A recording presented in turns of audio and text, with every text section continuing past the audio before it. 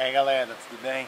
É, esse vídeo na verdade é uma continuação do vídeo que eu coloquei no ar ontem falando sobre os atentados aqui nos Estados Unidos, sobre alguma das repercussões que está tendo, é o Trump falando que vai é, fortalecer as restrições para compra de armas aqui nos Estados Unidos.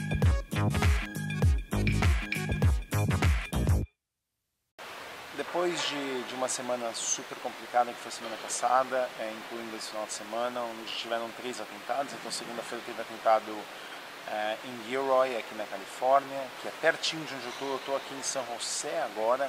É, daqui até, até Gilroy, é, é, na verdade, alguma coisa como 25 quilômetros, talvez, daqui até onde teve atentado. É, e aí os dois outros tiveram um em El Paso e outro em Ohio.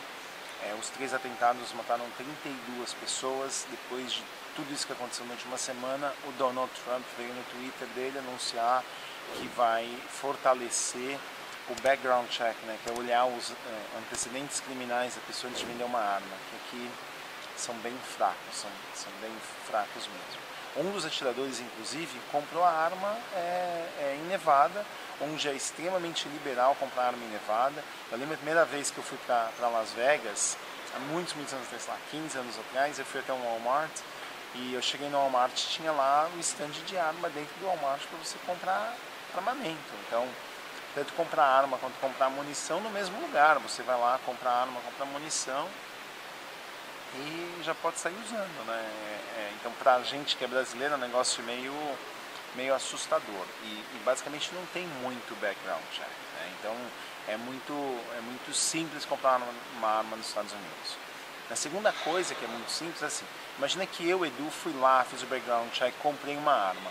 Eu posso, daqui 3, 4, 5 anos, vender a minha arma para outra pessoa e eu não tenho que fazer background check dessa pessoa que está comprando, eu só tenho que fazer, é, eu tenho que tirar uma cópia dos documentos dessa pessoa e, e pronto. E aí eu já estou livre, estou isento de qualquer problema que eu possa ter no futuro por é, eu ter vendido uma arma para um criminoso, por exemplo. Então, então assim, a lei é muito, mas muito flexível para compra e venda de armas aqui nos Estados Unidos. Alguns estados são um pouco mais duro, mas mesmo assim é muito fácil. Mas aí você fala assim, mas Edu, como assim, né? Com tudo isso e tal, com todos esses atentados, o, o, o armamento continua sendo tão livre assim nos Estados Unidos? Sim, continua. Porque os Estados Unidos têm uma cultura muito forte sobre o armamento, né? As pessoas terem o direito de ter uma arma faz uma parte muito forte da cultura americana, né? Então, assim, assim como no Brasil você tem várias coisas muito fortes na cultura, aqui você tem a cultura do armamento, né? Existe realmente uma cultura, não é só é você ter uma arma para se defender existe toda uma cultura do, do armamento que faz parte da cultura americana. Quando você bota isso em xeque, é um, é um tema extremamente complicado. Né? Então, assim, vocês acham que foi complicado aprovar uma previdência no Brasil, é, sabendo que tudo que vai acontecer financeiramente falando, é, e mesmo assim você não, não fez as mudanças que deveriam ter sido feitas, como, por exemplo, tirar todos os privilégios é, da classe é, política, tirar todos os, os, os privilégios é, das pessoas que ganham mais do que 10, 15 mil reais de pensão, é, não tirar privilégio dos militares, é a mesma coisa aqui você falar que vai tirar armamento. Então, você vai tirar armamento? Não, não, não. É assim, vamos endurecer o armamento, mas quem já tem privilégio não mexe. Então, é muito complicado você é, fazer uma mudança que envolve uma cultura muito forte. Então, é, é, vamos ver o que, que o, o, o, Trump vai propor no final. Mas o mais é, impressionante de toda essa história é que o Trump usou mais uma vez é, é uma porta para tentar forçar uma outra lei que ele está tentando fazer, que é a lei da imigração, né? fazer a mudança na, nas leis imigratórias aqui para os Estados Unidos. Ele falou assim, então, vamos fazer o seguinte, vamos mexer na, na legislação é, sobre o armamento, que é o que os democratas querem, e os republicanos não querem, mas vamos juntar isso com as mudanças das leis imigratórias, que quem quer são os republicanos e os democratas não querem. Então ela falando assim: vocês querem resolver dos armamentos? Vamos resolver da imigração. Vocês querem resolver da imigração? Vamos resolver o armamento. Então quer dizer, botou todo mundo para brigar, que no final ele pode ou sair daquele como resolvi os dois numa cajadada só, ou pode ser assim: olha, eu tentei resolver os dois, mas nenhum dos dois querem resolver. Então, assim, no final, a estratégia dele, é, ele vai sair bem na história. É isso que importa para ele, é o que vai acabar acontecendo. É, eu acho que vai reduzir os armamentos e tudo mais aqui nos Estados Unidos? Não sei, eu realmente não sei. Eu acho que a cultura é um negócio extremamente forte aqui, a cultura do armamento.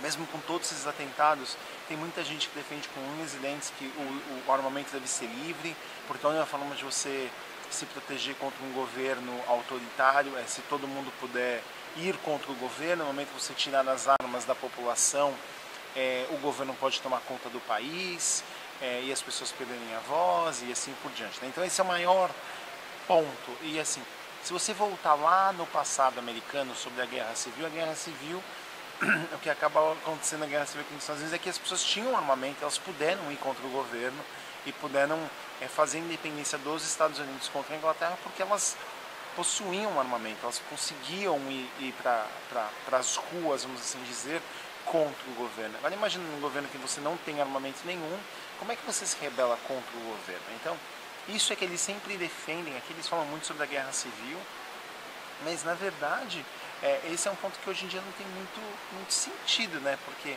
a diferença de armamento da população contra do governo é tão absurda que você nunca vai conseguir realmente ir contra o governo. Então, uma situação muito complicada. É, é, acho que é um assunto que, tem, que, que, vale um debate muito grande. Eu não sou nenhum especialista de arma, não quero que, ficar falando coisas que eu realmente não sei. É, mas é muito complicado. Eu vejo é, a forma como é fácil comprar uma arma aqui nos Estados Unidos. Aqui na Califórnia não é, é, tão fácil, mas no resto dos Estados Unidos é bem fácil. E você pode comprar uma arma em Nevada, colocar e trazer para cá. E mesmo que na Califórnia você pode ter arma, você não pode portar uma arma. Então se eu quiser comprar uma arma para ter em casa, eu consigo, eu não consigo portar uma arma. Na Costco, por exemplo, o lugar onde eu faço compras, é, vende o cofre para você guardar a tua arma. Então, assim, é, a, a, cultura do armamento é um negócio muito forte nos Estados Unidos e, e, assim, eu realmente espero que com todos esses atentados que têm acontecido nos últimos anos, foram 32, 30, é, 32 atentados esse ano aqui nos Estados Unidos até agora, nós estamos em julho ainda, né? Na verdade não, estamos em agosto, estamos no começo de agosto, mas em, nos primeiros seis meses, sete meses do ano foram 32 atentados. Se continuar nesse ritmo, a gente vai acabar no final do ano com mais de 50 atentados e não sei quantas pessoas mortas. O número de pessoas mortas pode até parecer insignificante com outros problemas que acontecem, como por exemplo acidente de carro. Né? Acidente de carro morrem, sei lá, 20 mil pessoas ao ano nos Estados Unidos. Em atentados talvez vão morrer 300, 400 pessoas durante um ano. O problema é que atentado muda a sua cultura, faz você viver com medo, você com medo de sair de casa, você com medo de fazer as coisas, aumenta o ódio ainda mais. Então, esses atentados são algo extremamente complicado que muda a forma que você enxerga o mundo. Então a gente tem que realmente dar um jeito de, de acabar com isso, de acabar com esses atentados, de acabar com esse tipo de, de, de manifestação de ódio. É, o, o, crime que aconteceu no Texas já está meio que claro que foi um crime de ódio contra imigrantes é, latinos, né, imigrantes latinos que, tem, que são muito fortes ali em El Paso. Para vocês terem ideia, em El Paso, 70% da população são de imigrantes latinos.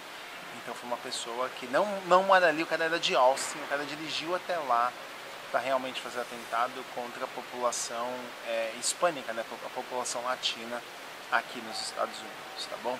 É isso aí, pessoal. Até a próxima. Tchau, tchau.